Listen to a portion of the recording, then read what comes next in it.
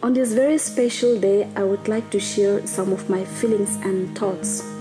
First of all, I want to thank God for answering my prayers and also for blessing me the best part of my life, my Tachong, the one with whom I will grow old. I'm really grateful to everyone who has helped to make this special day possible. I'd like to say a special thank you to my mom and dad and also my siblings who had always done everything for me to give me the best.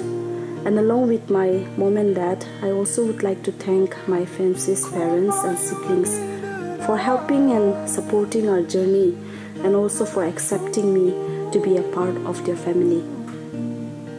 I also want to thank all the people who could not be here today, yet all of you are greatly missed.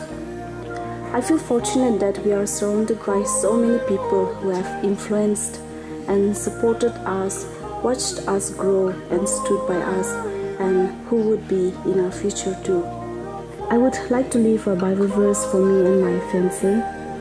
1 Corinthians 13 13. And now these three remain faith, hope, and love. But the greatest of these is love. I'm so grateful to my fiancé for choosing to love me as I am.